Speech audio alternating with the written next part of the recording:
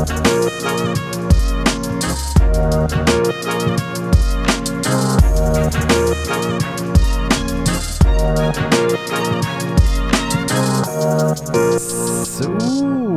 noch ein schneller Schluck von meinem Espresso. Mm, mm, mm, mm.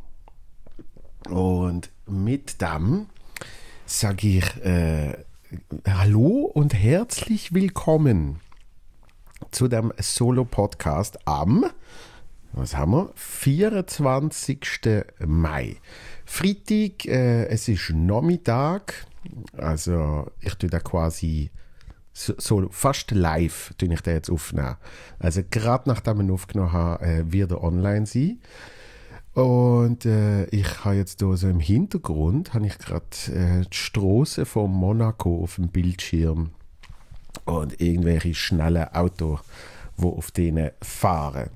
Ähm, finde es wirklich äh, eins der geilsten Weekends im Rennsport, obwohl die Leute immer sagen, die Rennen sind so langweilig und was weiß ich. Aber wenn sich jetzt überhaupt nicht für Rennsport interessiert, kann ich nur sagen, schaltet einfach mal am Morgen, in dem Fall am Samstag, schaltet einfach mal ganz kurz ins Qualifying. Einfach mal schnell Formel 1 Qualifying in Monaco.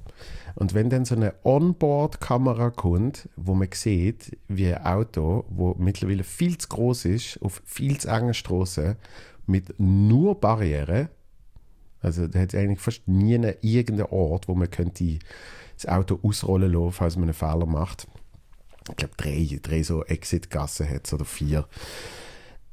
Das ist einfach nur noch äh, einerseits insane und andererseits einfach faszinierend zum Schauen. Also da muss ich gar nicht irgendein Michael Bay Movie oder was es alles gibt. Ich brauche das nicht, sondern einfach das Echte. Einfach eine Kamera auf einem schnellen Auto auf so einer Straße. Habe ich schon als Kind. Ich habe immer den Tunnel bei Monaco, habe ich immer, ich habe das immer so faszinierend gefunden, wenn dort irgendwie die noch damals Formel 1 Auto einfach dort so durchzischen. Aber ähm, das möchte ich euch jetzt hier nicht viel zu lange erzählen, ist ja wahrscheinlich auch für 90% langweilig und es soll ja kein Formel 1 Podcast sein. Sondern es ist ja eine Solo-Folge, äh, äh, Gästeplanung ist bei uns wie immer top. so dass wir das mal niemals haben und ich wieder mal mein eigener Gast äh, darf sein. Das freut mich sehr ohne dass ich jetzt schizophren werde. Aber ähm, gibt natürlich trotzdem zwei, drei Sachen zu erzählen.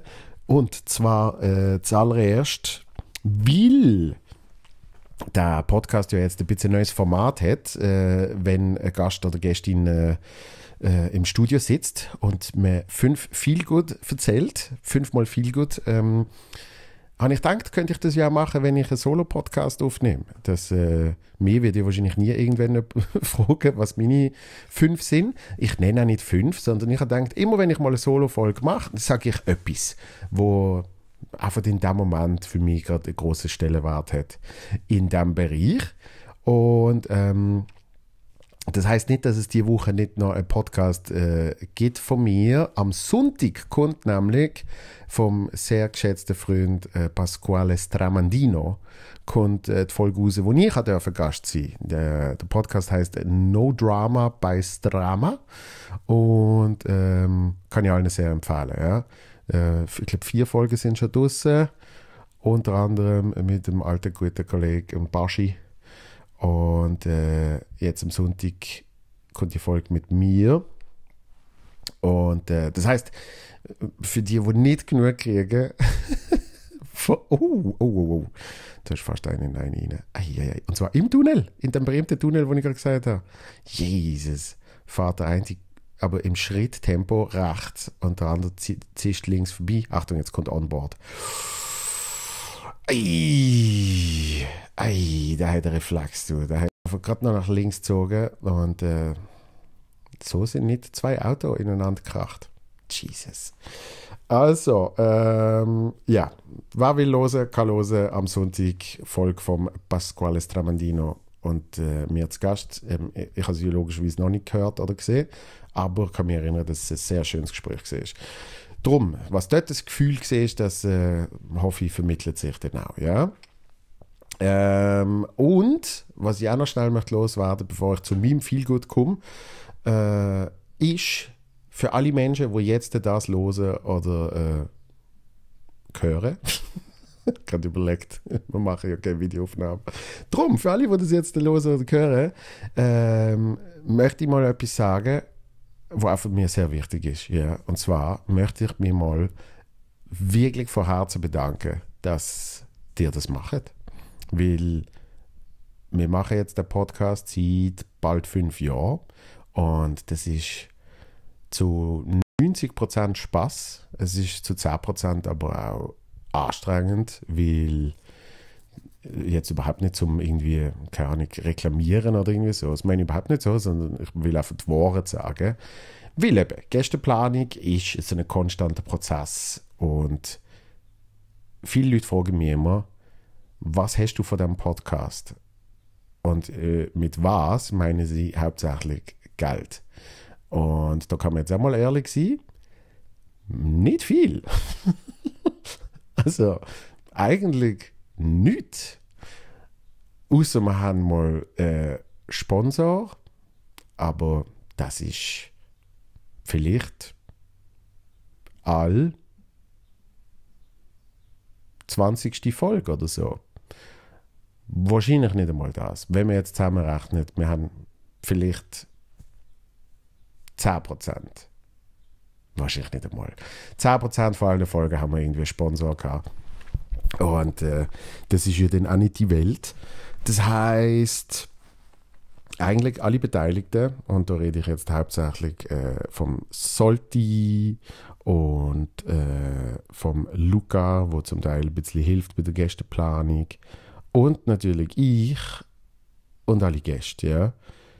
Wir alle haben keinen Nutzen von dem in, irgendeinem, in irgendeinem wirtschaftlichen Sinn, sondern äh, alle machen das, weil sie Spaß daran haben. Und eben, wie gesagt, wir haben meistens Spaß daran. 90 Prozent hätte ich gesagt. Und die andere Zahl ist dann manchmal so ein bisschen, uh, okay, das noch. Äh, kommt dann dazu, der Podcast wird ja an einem fixen Ort aufgenommen, außer ich bin jetzt da irgendwie daheim. Und ähm, um mal die Frage zu beantworten, wir haben wirklich nicht viel davon. Das heißt, was wir, was wir davon haben, äh, nicht im materiellen Sinn, sind effektiv Menschen, die das hören oder schauen.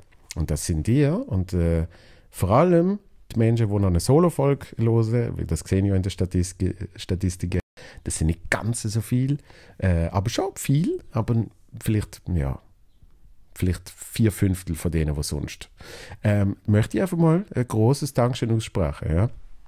Und ich, ich hoffe, dass äh, die Situation, wie eben, was hat man davon, dass man lange noch Freude daran hat, dass man es weitermachen kann und dass vielleicht irgendwann man auch mal etwas davon hat. Ja? Also das heißt im Konkreten, eben, wir irgendwann wieder mal Menschen, die Werbung schalten, Sponsorings machen und das ist für uns auch noch mal ein bisschen schwieriger als für andere, weil wir sind ein von der ja, wenigen Independent Podcasts. Oft ist ein Medienhaus dahinter, ähm, wo in irgendeiner Art und Weise das halt eben auch ein Stück weit finanziert. Äh, natürlich gibt es auch Kantone, staatlich, Bund etc. Es gibt ganz viele verschiedene Versionen von Podcasts. Wir sind wirklich einfach ein paar, ich sage jetzt mal Privatleute, die sagen, wir machen das.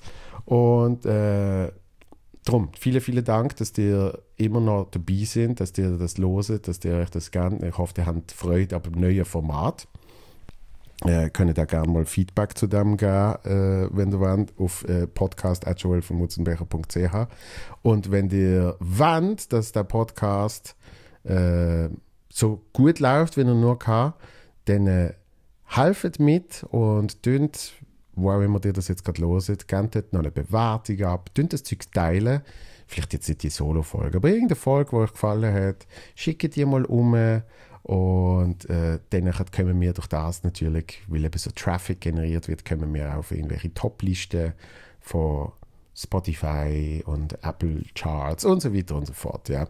Ich will überhaupt nicht battlen, sondern ich eigentlich, eigentlich habe ich angefangen damit, dass ich mich bei euch bedanke, dass ihr das macht, dass ihr äh, den Podcast konsumiert. So, also viel äh, gelabert. Ähm, soll ich noch ein bisschen mehr Werbung machen? Ah, ich bin auf Tour. Ja. Neue Daten sind äh, so ein paar werden noch dazukommen, aber sind so plus minus die letzten vom Programm Zero. Uh, jetzt läutet es. das ist meine Lieferung. Hahaha. Dann machen wir doch schnell auf. Einen Moment. Ja, hallo?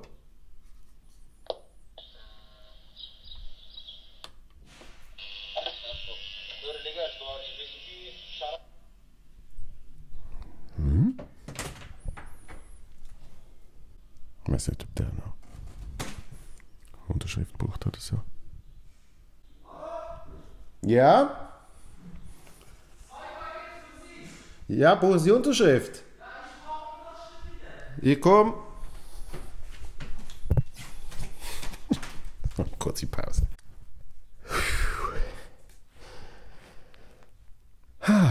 So.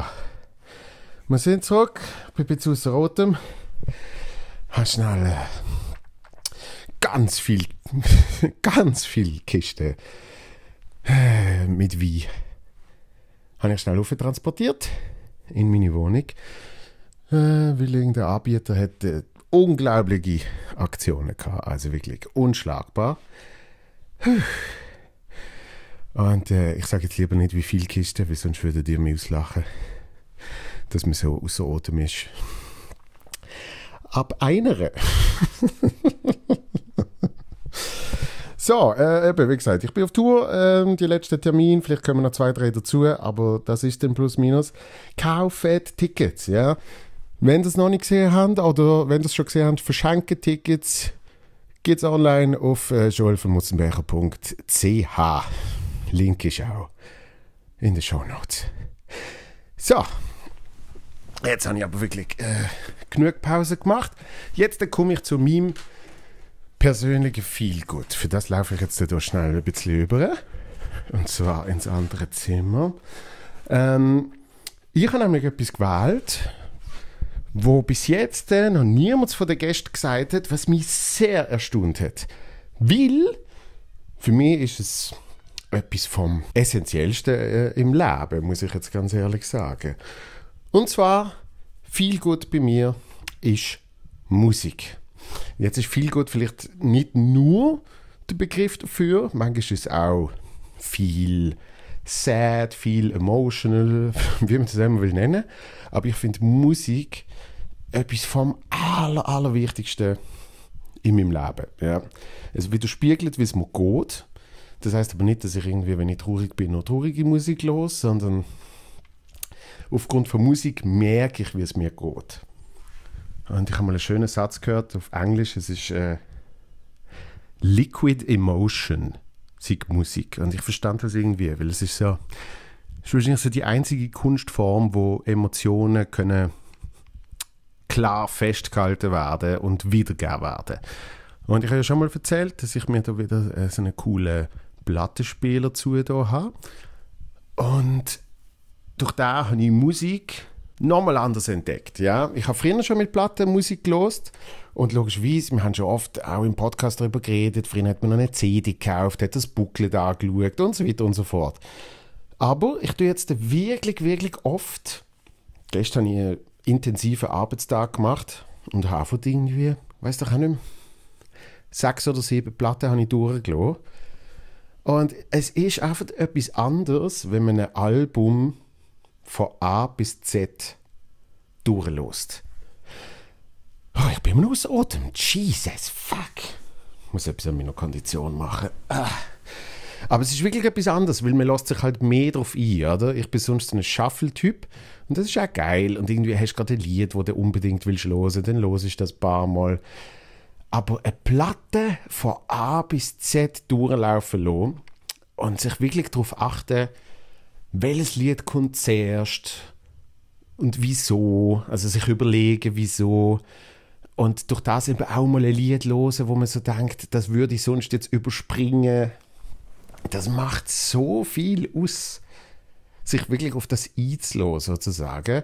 Und ähm, ich bin bei dem Musikstil sehr ab, ja, was will man sagen? Das sagen ja alle immer, oh, ich los alles Mögliche und so. Aber bei mir ist dann wirklich so Jazz und nachher Indie-Pop oder keine Ahnung was. Und das ist bei Shuffle ist das dann natürlich zum Teil sehr anstrengend, weil man dann immer so mega springt. Dann kommt irgendein so Martin Garrix-Gedudel und danach kommt irgendein Heavy-Metal-Song und danach äh, kommt eben irgendein Jazz-Lied äh, vor 15 Minuten. Das heißt, es ist dann so, ja, es ist mega schwierig, sich dann konstant irgendwie wieder auf etwas Neues einzulassen. Und mit einer Platte geht das viel besser natürlich. Und ich möchte euch jetzt eine Platte empfehlen, sozusagen. Und zwar, die habe ich jetzt gerade vor mir, ich nehme sie jetzt extra in die Hand. Die hat sich so ein bisschen zu einer von meinen Lieblingsplatten gemausert. So ganz entspannt. Einfach so immer wieder mal habe ich die aufgelegt und mit jedem Mal hören ist sie einfach noch ein bisschen geiler geworden. Und ich bin, glaube noch nicht am Ende. Ich glaube, sie wird immer noch geiler. Und zwar ist das äh, von einer Band, die heißt Local Natives. Ähm, habe ich immer schon eine easy Band gefunden. Und dann habe ich irgendwann mal noch mit meinem alten Plattenspieler ich mal die Platte bestellt. Weil irgendwie, glaube zwei Lieder oder so haben mir gefallen. Violet Street heißt die. Ist aus dem 2019 und 10 Songs.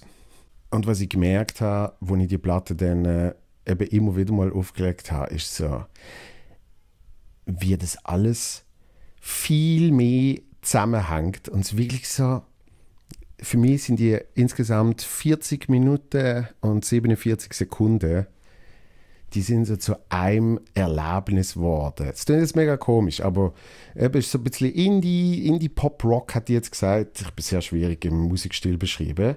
Ich weiß auch nicht, wie sie sich selber nennen. Und es ist so ein bisschen, ja, das Cover ist so, okay, fünf Dudes, die alle irgendwie verträumt irgendjemanden anschauen, in einem Gebüsch. Das ist so ein bisschen, ja. Yeah. Es gibt ja, glaube ich, nicht so ganz das Gefühl, wie wenn ich dann eben die Platte los. Die Platte einfach mittlerweile von 1 bis 10, jedes Lied macht etwas mit mir, nimmt mich mit auf eine Reise. Und mein Appell an euch, auch wenn ihr keinen Plattenspieler habt, probiert mal, wenn es euch auch nur ansatzweise gefällt, probiert mal das Album Local Natives, Violet Street. Probiert das mal ganz durchzuhören. Und schaut mal, was das mit euch macht. Und ich meine jetzt überhaupt nicht so esoterisch mäßig oder so, sondern wirklich einfach Musik wieder mal bewusst hören und nicht nur ein Lied oder zwei oder irgendwie so, sondern einfach so, wie es gedacht worden ist von denen, wo sie das in, Achtung, Los Angeles. Wo sie das in Los Angeles aufgenommen haben. Ja? Einfach mal schauen, was das mit euch macht. Vielleicht ist es nicht eure Musik, danach empfehle ich es euch mit etwas, wo eure Musik ist. Irgendeine Band, die ihr geil findet, irgendein Artist. Einfach mal das ganze Album hören. Einfach wirklich jedes Lied von A bis Z. Und zwar nicht in Shuffle, sondern einfach in der Reihenfolge, wo es ist. Ähm, das war mir viel gut von dieser Woche. Ja? Violet Street von Local Natives. Und ähm, ich werde mir jetzt irgendwie eine Infusion geben, dass ich wieder ein bisschen Schnuff kriege. Und dann würde ich, glaube die Platte hören. Und wünsche euch jetzt, äh, wenn ihr das vor dem Weekend hört, ein wunderschönes Wochenende und sonst eine gute Zeit. Nächsten Freitag dann wieder ganz normale Folge mit Gast. Und zwar ein toller Gast, aber ich sage jetzt noch nicht wer. Okay, es ist der Kilian Ziegler. Also bis dann, macht's gut. Bye, bye, bye.